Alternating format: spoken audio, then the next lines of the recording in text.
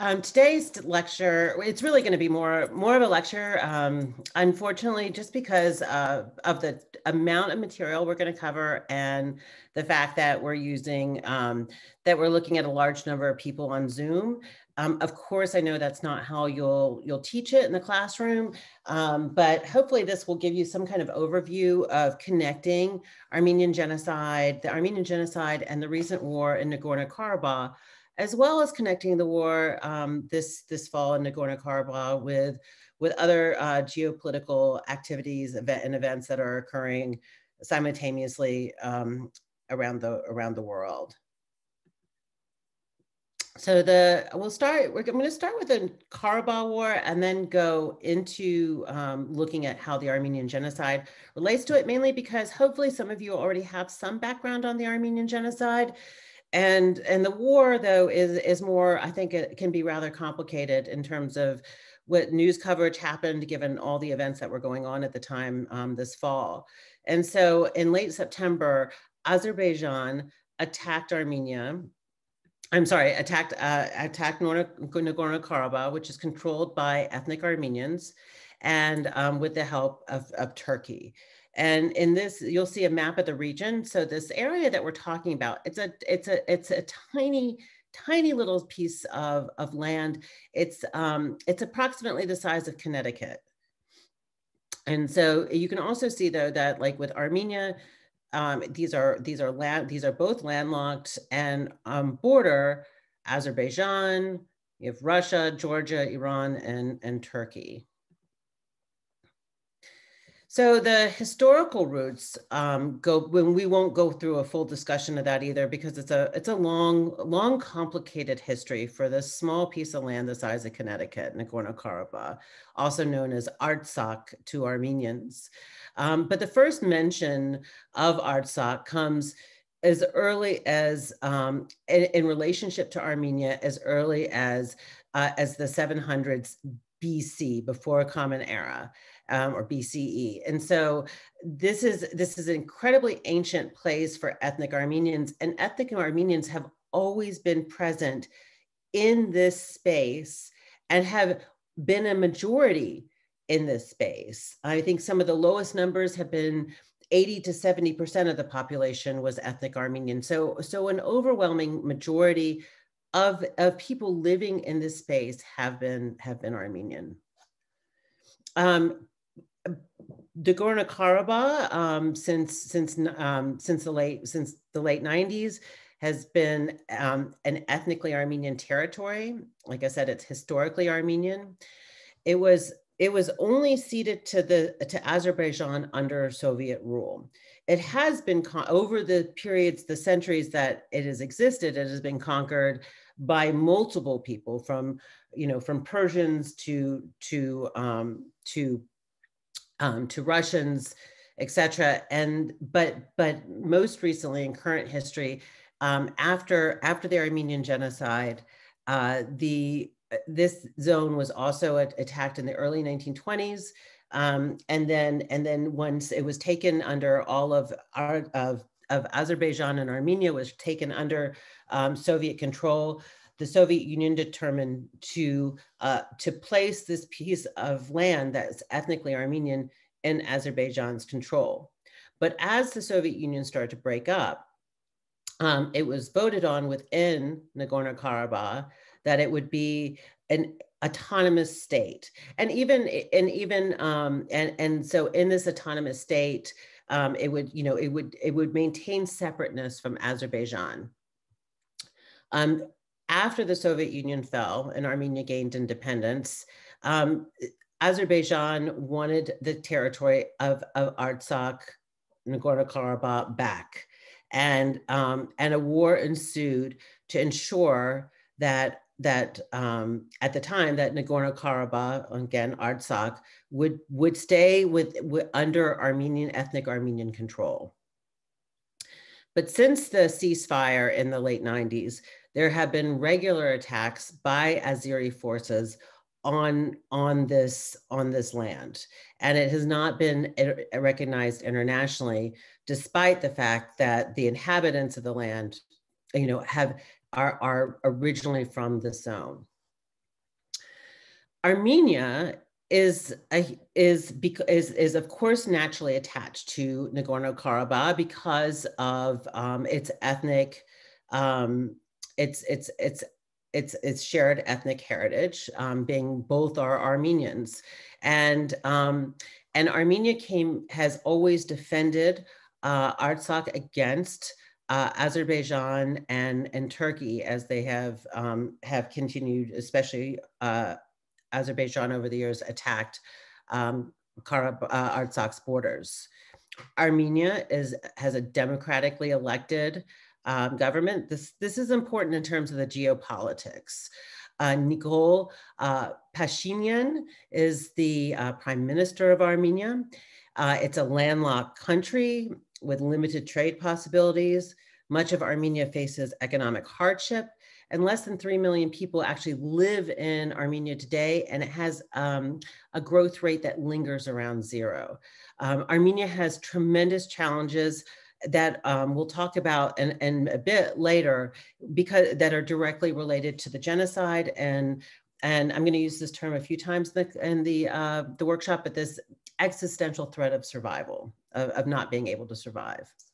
Azerbaijan, on the other hand, um, quite is quite different. It's it's an autocratic rule. It, Ilham Aliyev has no term limits. He succeeded his father, and um, it is assumed that when Aliyev no longer can hold office, that his wife will will then hold office. This is this is a family-based um, uh, oligarchy. Um, it, it also is facing currently some economic crises because it's an oil-based economy. But since World War One, it has, and then and also and, and more specifically since the fall of the Soviet Union, it has prospered greatly uh, economically, but that money has not, that economic gain from uh, being an oil-based economy has not trickled down to the people of Azerbaijan. It has stayed within the Aliyev family and um, upheld a really quite tremendous, tremendous lifestyle for them. Azerbaijan has deep ties with Turkey and considers um, and is considering a stronger relationship with Russia. And so it is, um, its ties with Turkey are, are very much ethnically based. Um, Azerbaijan and Turkey are both Turkic states and um, and see themselves as having a brotherhood. Turkey also lacks um, democratic ideals. Uh, Erdogan has been in power since 2003. Um, he has held multiple dubious elections with extremely questionable results. And um, he um, he has a, uh, a long um, history of human rights violations against perceived political opponents and um, minorities in Turkey, um, which include Armenian minorities in Turkey, but also um, and, and, most especially these days, Kurds um, face tremendous. Uh, tremendously difficult hurdles in terms of being accepted into mainstream society. Um, the growing political uh, policy of neo-Ottomanism is a tremendous issue for the Middle East and North Africa. Just recently on our news screens in the US, um, we've had some news pieces pop up about Libya. And Libya was one of the first uh, real actions of Turkey in terms of this neo-Ottoman Ottomanism policy. Um, the policy is quite simply that, um, or in simple terms, is that uh, Turkey feels that it, it is it was um, it was cheated at the end of World War One with the with the settlement of Vers, uh, Versailles, and um, and deserves to have an opportunity to expand to its its reach to where it was during Ottoman Empire. This is really interesting because Turkey's always separated itself and said that it, it is a separate government than the Ottoman state, but now they're saying that they're not they weren't aren't separate. Um, they are they are the Ottoman state and they deserve the lands that Ottomans quote lost in the end of World War One. But we also need to remember that those lands um, were under um, uh, were colonized by the Ottomans, and therefore by losing them, they were going back to their ethnic um, and uh, indigenous inhabitants. So um, the, this shows uh, just kind of the, the strength of friendship uh, and, the, and the brotherhood between, um, between Azerbaijan and Turkey and Turkey's ongoing support for Azerbaijan. Uh, in the this this second image, um, uh, Erdogan is quoted in um, in this particular event as saying Turkey has stood by Azerbaijan from the beginning of the Nagorno-Karabakh conflict. At some point, Karabakh will eventually uh, inevitably return to its rightful owner and become a part of the Azerbaijan, about a part of Azerbaijan again. And so you can see that this is not just something, an act orchestrated by Azerbaijan, but also by, by Turkey. Unfortunately, we always know that other players in, um, in any given um, conflict are going to include uh, commercial interests. And um, one of the things that Azerbaijan has that is very, uh, not Azerbaijan, excuse me, that um, Artsakh has that is very special is, a, is, is gold mines. And um, this is a, a, picture of John Sununu um, and, and Aliyev in 2016. Um, John Sununu is, is going to be gaining 50% um, of uh, acquisitions from mines that have been um, taken, currently taken from Armenians in, in, the, um, in the Artsakh region.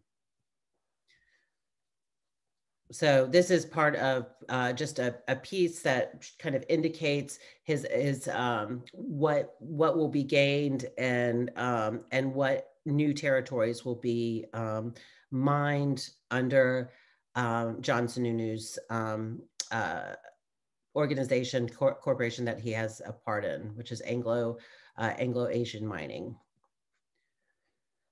Uh, this is a tough. I know this is a tough image to to see on the screen, but um, it's it's just a it's a more supposed to be a reminder image that that Azerbaijan um, may not be a country that students will certainly be able to quickly identify on the map. Um, it may not be a country that they'll even be able to give three facts about before starting a lesson on Azerbaijan.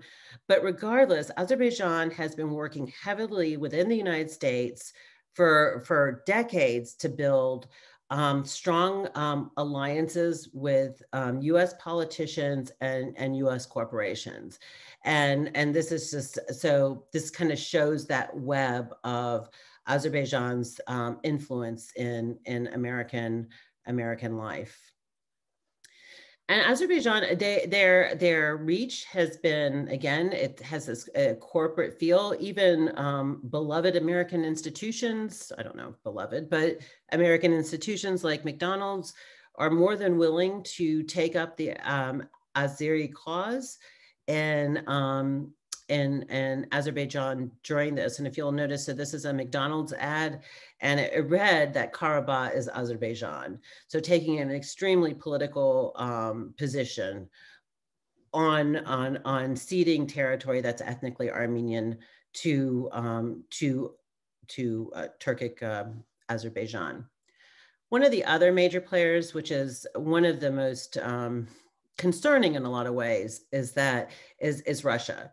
So what Armenia and, and Artsakh have always been able to rely on Russia as a uh, stalwart um, uh, friend, um, particularly against Turkic forces. And this time uh, things were different. And, and it was one of the greatest shocks for, for Armenians as we went through this, the process of the experience of the war this fall. And, um, and Russia, um, is is is changing its geopolitical alliances. Um, it's um, pulling. One is that it's looking at pulling Azerbaijan and Turkey further away from Europe. Um, part of that process would be destabilizing NATO. Turkey is a, a NATO member. But if Turkey leaves NATO and forms alliances, stronger alliances, or continues to form strong alliances with, with Russia, then um, the role of NATO in the Middle East um, will be significantly compromised. The last point is punishing a democracy. Um, the issues in Nagorno-Karabakh are not the only issues on on Russian on Russian essentially Russian borders right now, but there's um, there's a plethora of issues surrounding Russia and old SSRs in which um, these countries like Goristan, um, Belarus, um, which we saw quite a bit of activity this fall, um, even Ukraine, are looking to change their dynamic and have been looking to change their dynamic with, with Russia and establish more formally independent democracies. Amongst that list is Armenia. And, and a few years ago, Armenia was successful in a revolution against the oligarchs that had controlled Armenia and instituted a democratically elected president. Russia's concern with this is that that um, they gain quite a bit financially and strategically from oligarchs who ran, um, you know, autocratic campaigns. And in a democracy, uh, Russia will not be able to benefit um, from from the wealth, any wealth created or any st strategic alliance um, with the countries in the same way. So in part, we saw the, the way that Russia played a role in, in ending the conflict as a punishment for Armenia's role, uh, um, movement towards um, becoming a firmer democracy.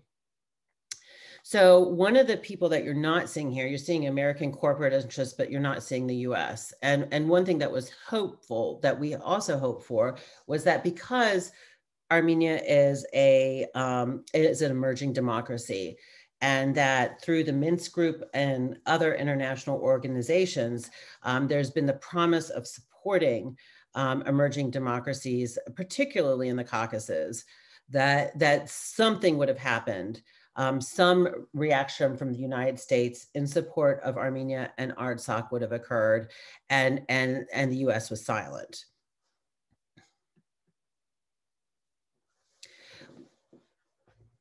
Azerbaijan, with Turkey's full financial support, um, attacked Armenia during a pandemic. While that alone is not a war crime at this point um, to be attacked during a pandemic, we certainly hope that in the future that will be considered. But some of the war crimes that we do, we are aware of was the use of cluster munitions, which harm civilians and leave um, remnants comparable to landmines. Um, historic sites um, like the Shushi Holy Savior Cathedral were severely damaged after uh, being deliberately bombed. And we also saw the bombing of medical establishments, including a maternity hospital. The use of white phosphorus munitions um, by Azerbaijan was another war crime committed um, because these, the white phosphorus, the reason for them is to destroy forests. Probably the most concerning um, war crime that was committed um, was heavily facilitated by, by Turkey. And it's the same issues that we're also seeing in, in Libya. And that's the Turkey's use of Syrian mercenaries. Um, you know, I think everybody, I think we just say poor Syria these days. I mean, the Syria is such a destroyed place and the war had gone, has gone on so long that essentially, or has had gone on so long that it left an entire um, group of, of people without education and without and without work and and their only role the only thing they know how to do is fight and turkey has taken great advantage of using mercenaries from syria to both commit uh, war crimes in in libya and in in artsakh. There are even horrendous discussions about um, about Syrian mercenaries receiving not just payment, but bonus payment for um, for for beheading Armenian soldiers, for for practicing torture techniques, and um, and hopefully hopefully these these issues will be solved in an international court before Turkey can use these uh, mercenaries in uh, in other parts of either the Caucasus or or the Middle East. So because with the force of Russia behind, and this is Pashinyan, the um, this is an image of Pashinyan, the prime minister of um, of, of Armenia, with tremendous pressure on Pashinyan. Uh, he signed a peace agreement um, on November uh, 10th, 2020. The peace agreement um, was a huge blow to um, to to Artsakh as well as to to Armenia. So Artsakh had to handle they had to hand over um, territories, tremendous amount of territories that included mines. Um, they lost um, historic historic lands um, and and had to evacuate from from their homeland. This is an image of some of the evacuations. You'll also hear in the news that uh, Armenians uh, burned homes before they left. Um, they also, though, actually literally would try to get their homes up off the ground and put them on trailers to take them out. They're going to Armenia itself proper that has zero resources for them and um, and has no um, and and they're going to be living as, as refugees. They're, they they are taking as much much as they can. And as far as the the places, um, you know, any devastation that you may have seen in the news that was left behind, um, Armenians have poured um, both from within Artsakh and from the diaspora has poured in um, millions upon millions of dollars to create an infrastructure that was not there when um, when Artsakh when Nagorno-Karabakh uh, regained independence in the late 90s. And so none of those, none of the things that you saw destroyed were ever in the hands of Azerbaijan and nor were Armenians being compensated in any way for all the losses that they are now enduring um, with the signing of the agreement. I think it's fair to ask, and I think certainly high school students, middle school students will ask, you know, why should we care? Um, this is a tiny little place, um, like you've said, said, the size of Connecticut, and and it's an and and I think quickly uh, international news as well as a student's mind will say, oh, it must be an it's an ethnic rivalry. There's no answer. And of course, there is an answer when when you have you know uh, indigenous people living on indigenous lands. That's the right. That's the way things should be. Um, and, and obviously that's not what happened here. But but if we want to go beyond the the moral issue that indigenous uh, groups deserve to live in their historic lands, we can look at the geopolitical implications that will have a tremendous effect on us. And that again goes back to what I was saying earlier, which I think is really one of the most important points is that that Russia is is is and and Turkey are repositioning um, their role as as as world leaders. It's something we've been watching for quite a while, and um, and been impacted in our own elections and in some ways.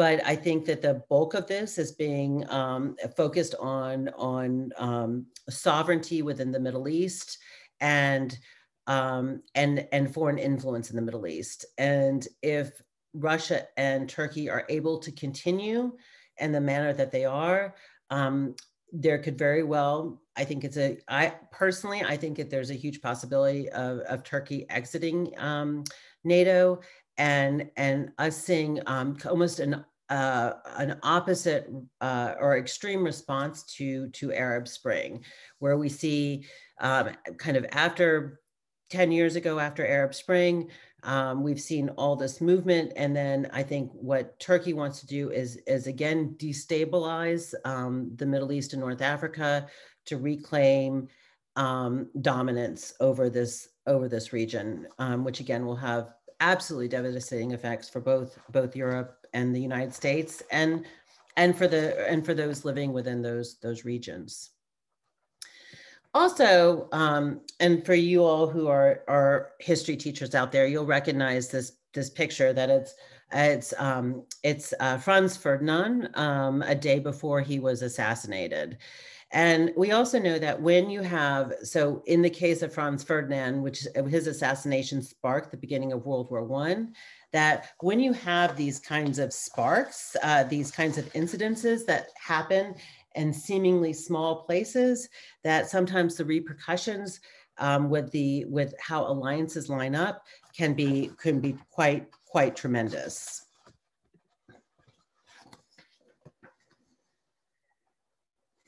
So um, Walter Benjamin, it's a German name, um, he and, and, others have obviously coined this term as well, that history is written by the victors. Um, he was a victim of the Holocaust. Uh, he was a, he was a philosopher who was a victim of the Holocaust and uh, killed himself in, in Spain to avoid extradition to Germany. Um, he was one of the greatest thinkers lost to the Holocaust, and and and his his I think this statement is so uh, um, powerful coming from uh, um, from someone who who essentially did not survive the Holocaust because his um, his suicide was directly related to um, fear of, of being uh, forced back um, into France from from Spain and interned.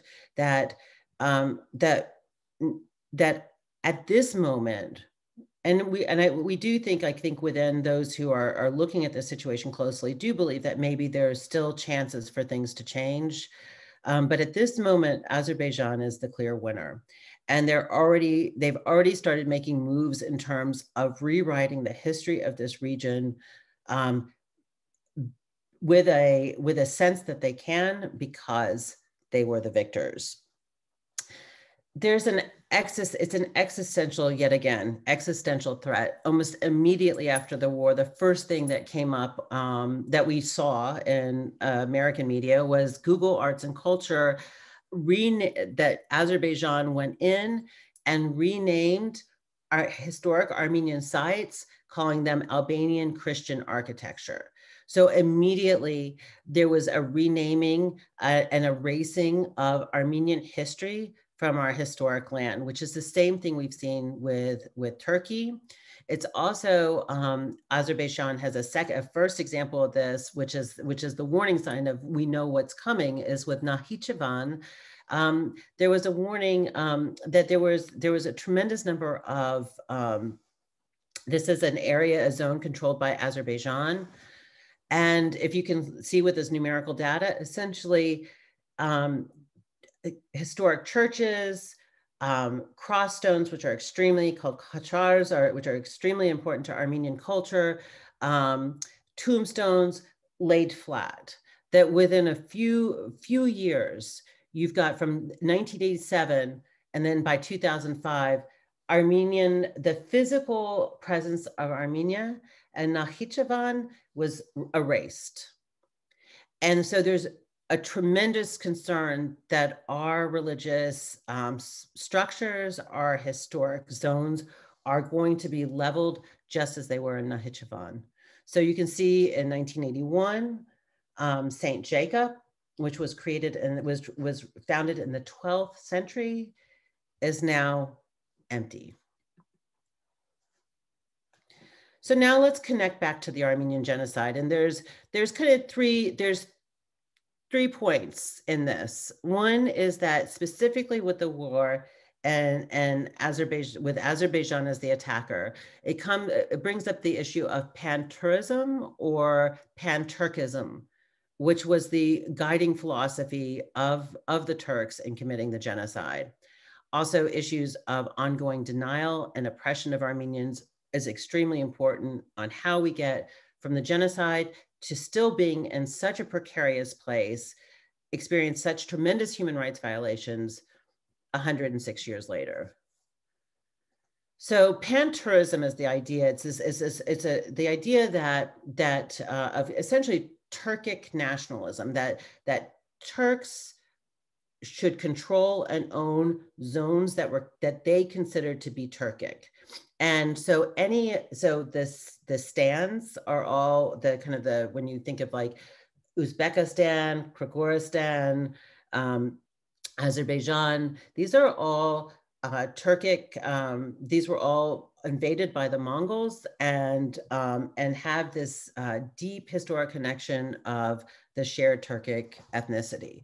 And what um, what the Ottoman Turks wanted to do was to create a coalition um, so that they were stronger against the forces of Russia and Europe. in this um, in this move for for pan-Turkism, this extreme nationalism based on ethnic identity, the intent to destroy the Armenian people was forefront. There was also the desire to destroy Greeks and Assyrians, that and any other non-Turkic people within the Ottoman um, sphere, specifically within the land of, of Anatolia, which is historic Armenia. And so that intent to destroy the Armenian people puts us deeply within within the within um, the genocidal context. And that's something we can talk like I, I, handle in other lectures, and we have in all of our materials um, online at um, the Genocide Education um, at genocideeducation.org. So the other lens we'll look at is through that of denial. And we use the 10 stages of genocide and um, and looking at the process of, of not only how genocide happens, but how it continues through the use of denial. Um, Israel Charny um, states that denial is the final stage of genocide. It's it's not a um, it is not a um, un um, unviolent act. It has its own level of denial, has its own level of violence in its ability to continually destroy um, a people. And we remember that with a genocide, we're not talking about the, the killing of individuals, but the killing of an entire society that includes the people and their history, their buildings, their, um, their religion, etc. Denial occurs during during and after genocide that's one piece in which i like to add in and um, because you oftentimes see as as something is happening uh, the denial of it even with azerbaijan and the war um, their attack on on um, nagorno-karabakh as soon as the attack occurred uh, they claimed that armenia was actually the one that to attack our news services, I'll give them, I'll, I'll, I'll, pretend like they had a reason for being so lazy in their reporting, but just took, said, oh, well, if Armenia says that uh, Azerbaijan attacked Nagorno-Karabakh and Azerbaijan attacked, says that Armenia attacked Nagorno-Karabakh, then this just must be an ethnic squabble. Instead of actually looking at the evidence of, which was there, of photographic evidence of, of bombs, bombs on the ground um, exploding bombs. And so even within this context of the war, you see the, the, the seas of denial um, occurring early. Um, continuing denial triples the probability of further genocide. Denial extends the crime of genocide to future generations and victims. Um, and it has the, again, the continuation of the intent to destroy the group. Denial is aggression. It continues the process of genocide. It strives to reshape history in order to rehabilitate the perpetrator and demonize the victim. In this image, I have, uh, there's an image of uh, Hrant Dink, who was um, claimed, what the Turkish state claimed was an enemy of the state and was set up for assassination simply for creating an ethnically, um, an Armenian newspaper within Istanbul um, that, that was written in Armenian.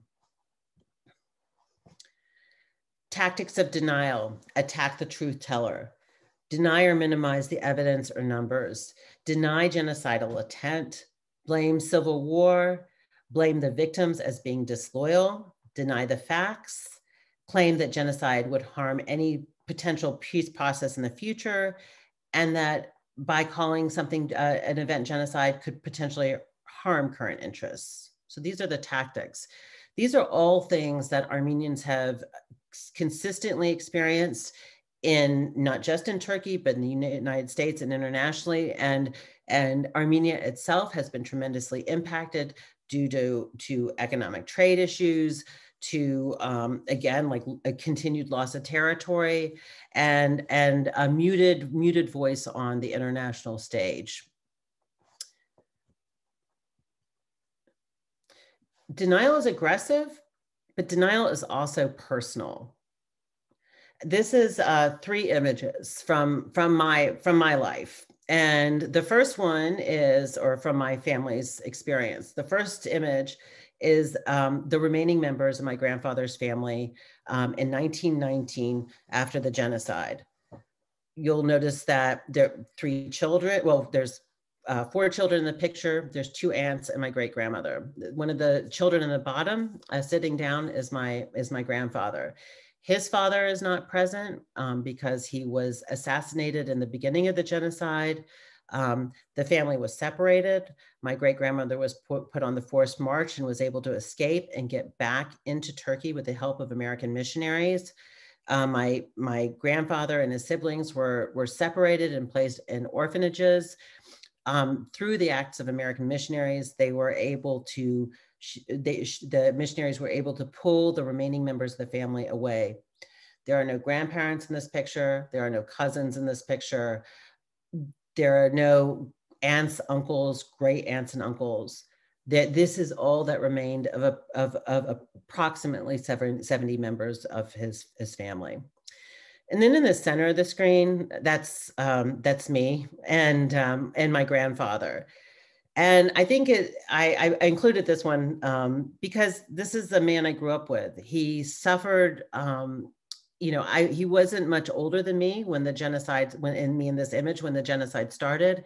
He was torn from his family, placed in a series of orphanages, given an, uh, a, a Turkish name. I mean, it was only through acts of God that he survived. And and he and he was a tremendous part of of my life. And um, and he died without justice being served.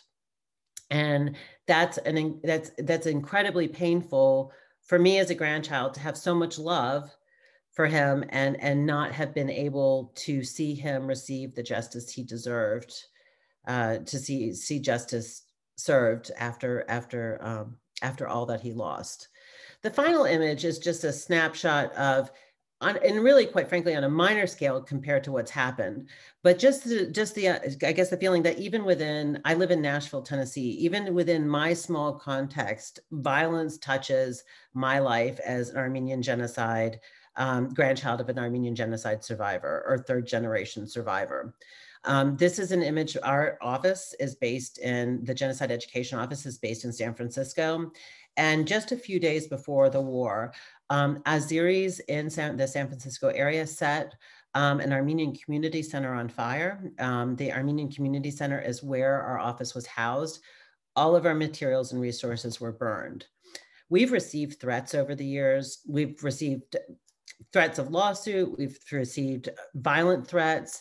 We've been told not that we will never be allowed in, in Turkey. We've received, as, as a person working in, in this field, I've received threats probably in every, every job I've held. But they've only been threats.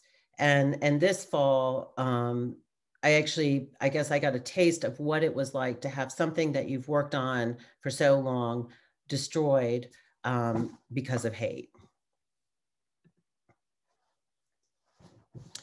Genocide is also a reality. And, and during the war there was a lot of discussion over like um, and, and, and a lot of emotion over you know this uh, was what what was happening was this the beginning of genocide? And i think from the armchair scholar perspective one can say you know no it's not the beginning of genocide. It's it's a it's a it's an attack on a on a group.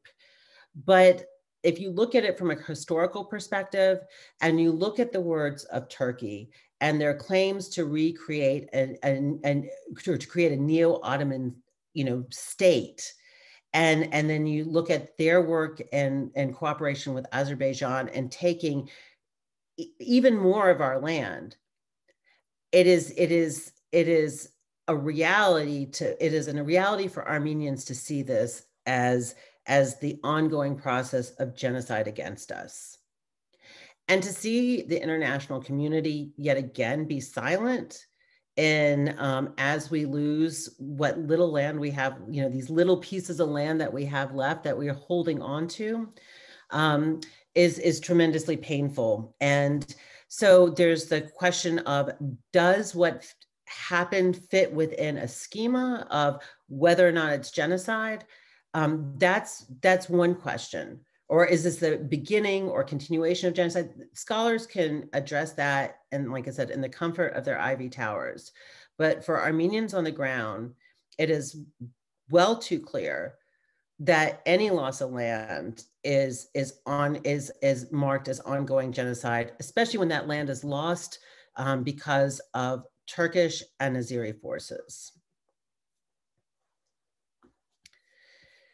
Um, I'm going to leave you with this quote.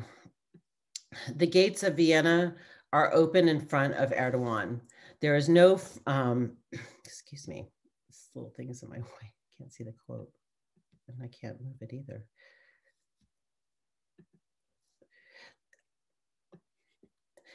Sorry, there is no front to contain Erdogan's ambitions and revival of the army of Islam.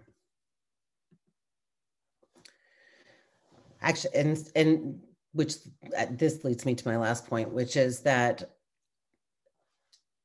there is still a reason to call to to create um, to to to find justice for the Armenian people and the Armenian nation even 106 years later.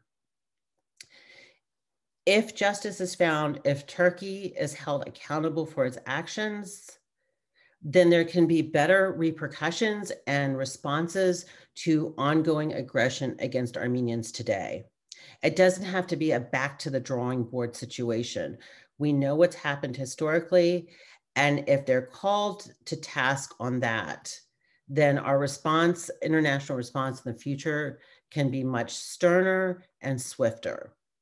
And that doesn't just I think that need for justice, even 106 years later, that applies to the Armenians, but it applies to any group that has yet to receive justice.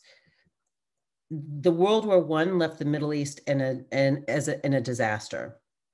And, and if we can go back and, and rethink and that's we as as as western nations go back and rethink the devastation of versailles on, on the Middle East and North Africa, we can potentially look at rebuilding a more um, a, a, a, stronger and healthier relationship with the region and and and push off any further aggression from from Turkey and possibly Russia and in the coming years. So I'm going to stay. So just as a reminder, um, all of our resources are free online. Um, this is images from our website, genocideeducation.org. We have endless numbers of materials. Well, I guess it's not endless because we have a limited amount since, uh, but we have we have we have a, a, full range of materials for teachers from from middle through high school, from starting with basic definitions of genocide to looking at news reports and various other pieces. Um, this this screen has a few um, uh, helpful uh, websites. It's it's too hard for you to read, but if you want this list, I'm more than happy to share it with you. Um, my email is um, is Sarah C at genocideeducation.org. And when I stop sharing the screen, I will put that in in the box. So the one thing I do want to remind you of before you leave is um, is the internet is full of denialist websites. Um, it is really difficult sometimes to discern them. Um, please use the websites that we recommend or that other organizations like ours, including Facing History and Ourselves and the Shoah Foundation recommend, um, because it is not always easy to tell what is a denialist website and what isn't. Um, we also um, really um, look down on using Wikipedia because of the constant changes from Azerbaijan and Turkish sources. Um, it's an ongoing it's an ongoing battle with open source uh, websites like Wikipedia, and unfortunately, in the case of any kind of contested issue, um, it's just it's rendered useless. The last one's a little surprising. Uh, I use travel books when I when I first started teaching, I loved using travel books in the classroom. And but again, when you're looking at the situation of Armenia, do be aware that some of the best intended travel writers will allow for governments to edit their books before they go out in return for free trips to the country and access to resources. So even some of the greatest travel writers out there, like Rick Steves, um, essentially participates in genocide denial by erasing Armenian history from, from the Turkish landscape, which is um, just absolutely unfortunate. So so you're given, um, you know, we we provide you with all the the online sources you could you could want anyway, but open research online is a tremendously difficult task for students. All right, great. So I am going to turn it back over to to Ani, and um, and then we'll open it up to questions. Thank you, Sarah, for that um, really in-depth overview. A uh, lot of lot of really good information.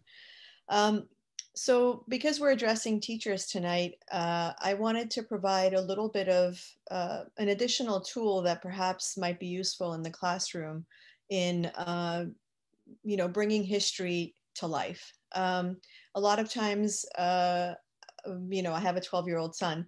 Uh, when we talk about history, it seems like, uh, you know, a story, something in a book. It doesn't seem live. It doesn't seem like it happened to people.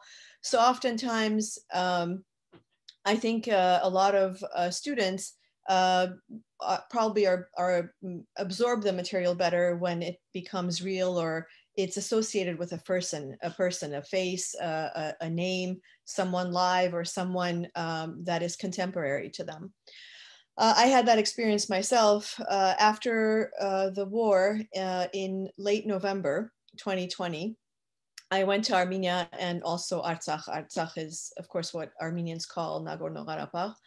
Um, and uh, I had the opportunity to speak to uh, refugee families. I had the opportunity to speak to families who've lost loved ones in the war, um, and uh, also to families who uh, have, uh, you know, children who are still captive uh, or are missing in action. these are difficult, difficult conversations, obviously. Um, but uh, one of the things that I wanted to talk about was this line between the Armenian genocide uh, in the First World War and, and, drawing it to modern day, which was, uh, you know, which is the title of our of our discussion tonight. Um, and and the line is very very clear. I've I've done several teacher workshops where we talk about the line uh, going from the Armenian genocide to all of the genocides uh, that are scattered throughout the the 20th century. Um, but now there is a direct line from uh, the Armenian genocide to uh, uh, basically Armenian genocide 2.0 today. Uh, and this is what I think triggered a lot of uh, ethnically Armenian uh, people across the globe. Um, so the, the folks that I, I, I spoke to, about 25 families or so, um, a lot of these folks are uh, were from the regions where they can no longer return to uh, after this war. Uh, the regions of Hadrut, of Shushi, of Karvajar, um, and so on. And so they have no homes to go back to. And these families have a direct history with the Armenian genocide. Uh, their great grandparents were survivors of the genocide and then ended up in uh, Armenia uh, around 1918, 1919. Uh, when Armenia was absorbed into the Soviet Union, um, they were still refugees. Some of them moved uh, to Artsakh or Nakhichevan. Uh, during the 70 years of Soviet rule, when both of those regions were put under Azeri administrative control, uh, the areas were uh, forcibly uh, uh emptied of Armenians, uh, much less successfully in, in Nagorno-Karabakh than in Nakhichevan, obviously, but nonetheless, the persecution, the, the oppression was rampant. Um, and as a result, some of these families then moved to other places for job opportunities, including cities in Azerbaijan cities including Baku, which is the capital, Sumgait, the second largest city, um, and uh, Kirovabad, which today uh, the Azeris called Ganja and is Ganzak in Armenian. Um, so uh, a lot of these families ended up as, uh, as the Soviet citizen ended up in cities in Azerbaijan.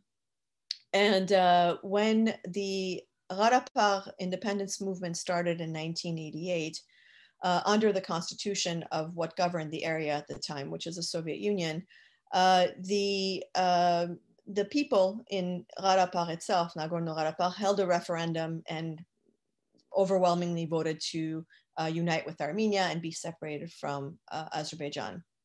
As a result of this democratic process in Gharapagh, uh, the authorities in Baku, Sumgait, and Kirovabad uh, started a campaign of pogroms um, in, in those cities. Uh, and basically uh, uh, drove all the Armenians who lived there, which, which numbered in about half a million, drove the Armenians from their homes in Baku, in Sumgait, and, and in, in Ganja, and several other smaller cities uh, creating a refugee crisis uh, in Armenia at the time. So these families, whoever survived, because there was also a lot of killing, uh, and in, in using methodologies that really uh, uh, harken back to the Armenian genocide, uh, rapes, um, slashing of you know pregnant women's bellies, throwing them off rooftops, all kinds of barbaric processes that really replicated uh, the way the genocide took place in the in the in the First World War. Um, so the the refugees ended up back in Armenia, and some ended up in Russia, and what have you. Some of these refugees moved on to other countries, some to Russia, some to Europe, some to United States. Um, we have uh, some of the survivors here uh, of ethnic uh, Armenian origin here in the United States. Um, and uh, uh, but some of them uh, decided to move to Artsakh in 1994 after the first Artsakh war was over. So they moved to Artsakh and started from scratch. These are folks who've lost everything and started from scratch. They, um, you know, worked the land, bought some land, then started to uh, build, you know, by hand their homes, then renovated their homes, then, uh, you know, put indoor plumbing and what have you. One of the families that I spoke to, um, the great grandparents were survivors of the Armenian genocide. Uh, they uh, are refugees from the Baku pogroms. Um, they are now refugees uh, from this war.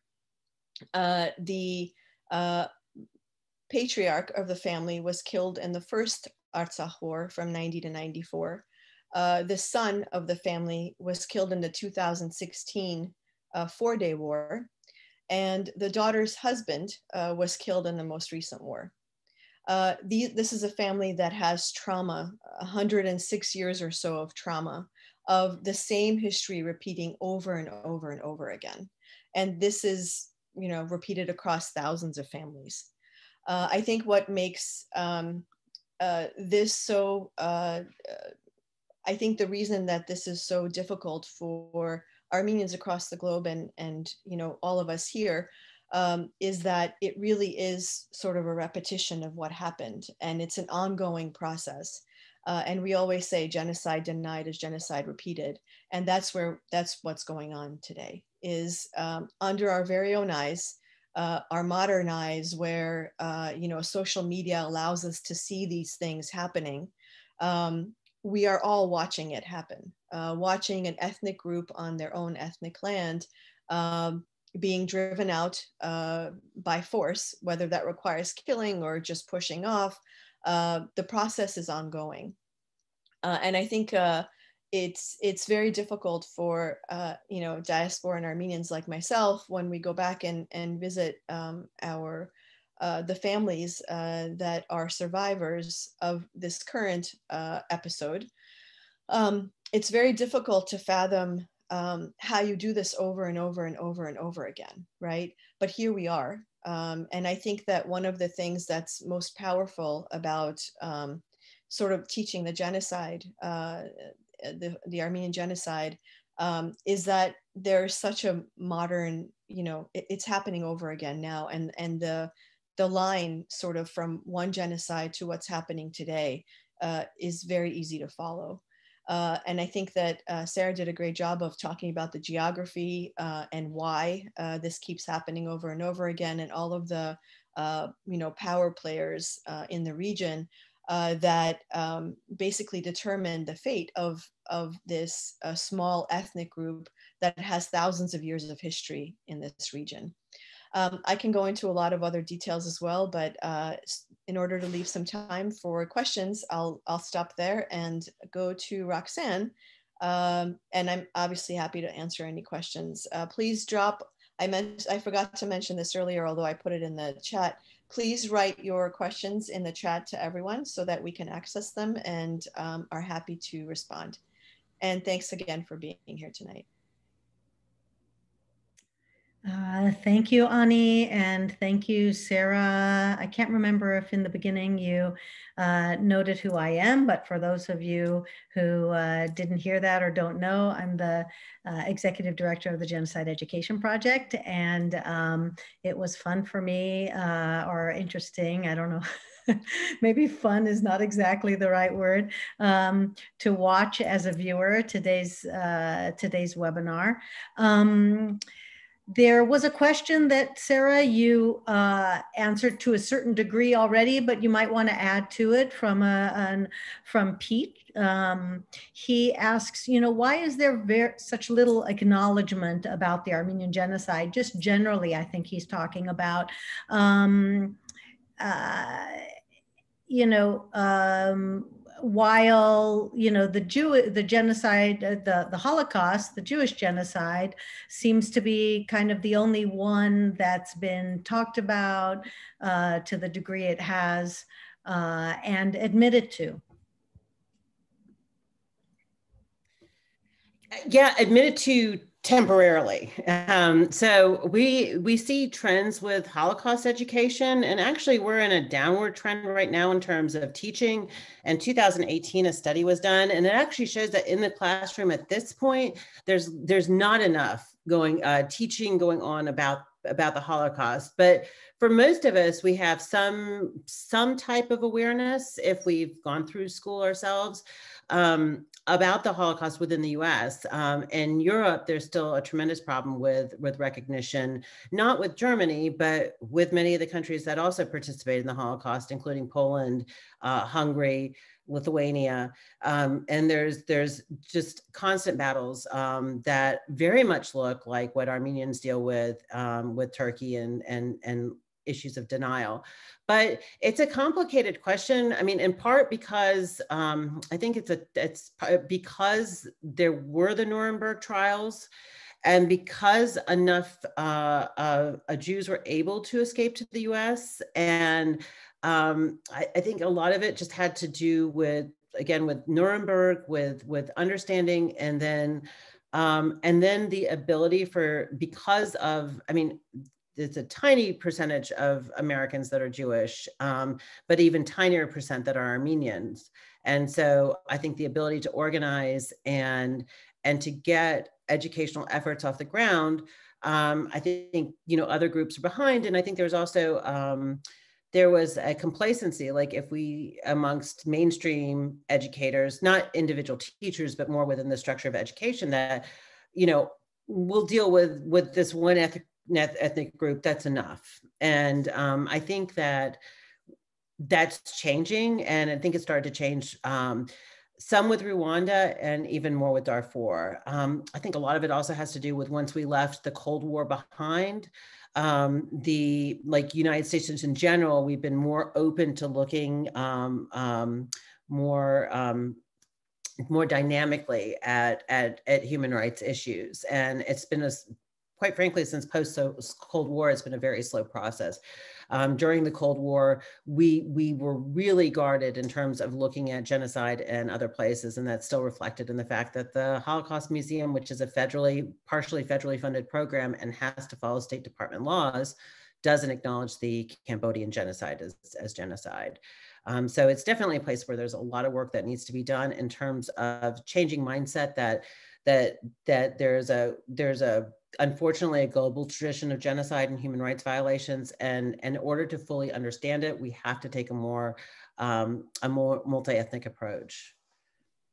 Roxanne, if I may, just to add a couple of other points uh, to this question. I think one of the, the major differences between uh, why the Holocaust, is, the knowledge of the Holocaust is more widespread, although as Sarah mentioned, not nearly as, as much as it should be, um, and the Armenian genocide isn't as well as other genocides, is um, the fact that the perpetrator of the Holocaust admitted to the Holocaust and has made reparations, has tried to make, uh, has, has tried to pay for their sins. Uh, but at the very least has, has, has accepted, Germany, the state of Germany has accepted that this has happened, that it was their doing and um, has had trials and, and so on and so forth. The Turkish government for the last 106 years has spent millions of dollars uh, uh, and all of their energies and all of their um, uh, ability to cash in on their geopolitical uh, uh, strength uh, to deny the Armenian genocide.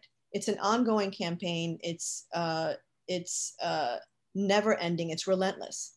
It's been a relentless campaign of denial for 106 years, and I think that you know, despite the fact that things like genocide and things like that should be apoliticized and taught in the classroom as part of history, uh, it becomes political uh, uh, very quickly when a government is doing all it can to one, politicize it, and two, make sure that the denial is, is um, successful.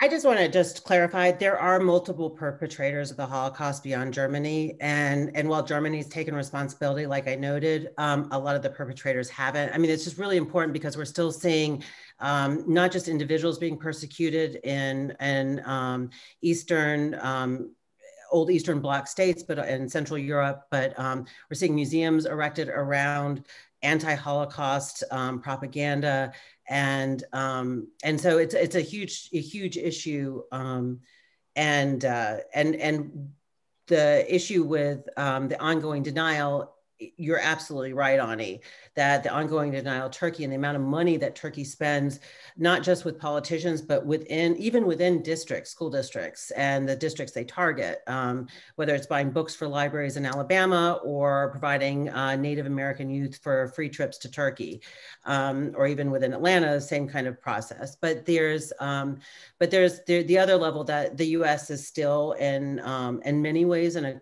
cold they're still shaking a cold war mindset and um, and seeing turkey as a valuable tool. And if they get past if we can kind of fully remove ourselves from those the the cold war policies which you know 30 years later we still really haven't done um, we can we'll see turkey and and a, in a different light. And and then those actions won't be as um, their attempts won't have as much impact. Correct.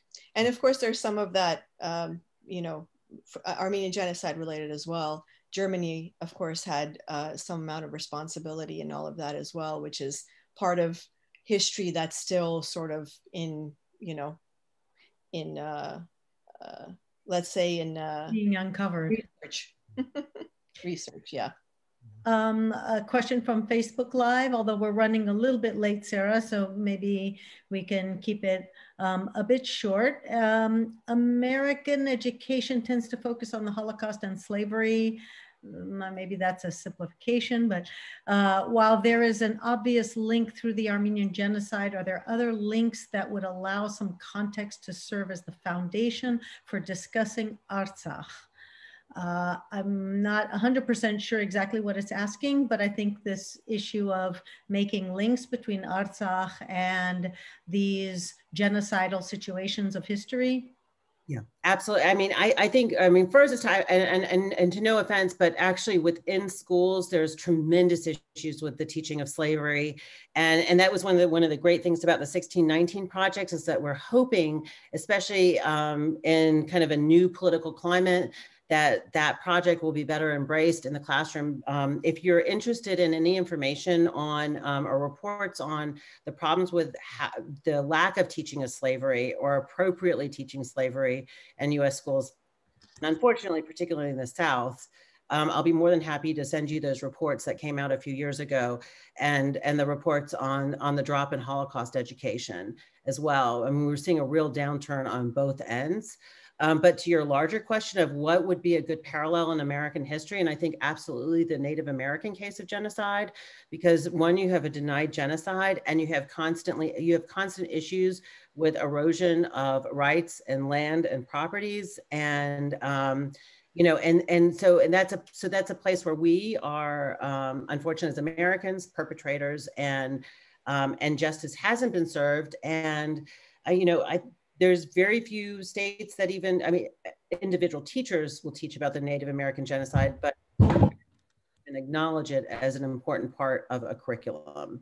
Maybe Native American history, but not Native American genocide. So I would say when you're looking at land issues, when you're looking at, you know, kind of a complex web of individual of, of indigenous peoples in different spaces and ongoing issues over time, um, I think the Native American case would be great, great, great um, parallel.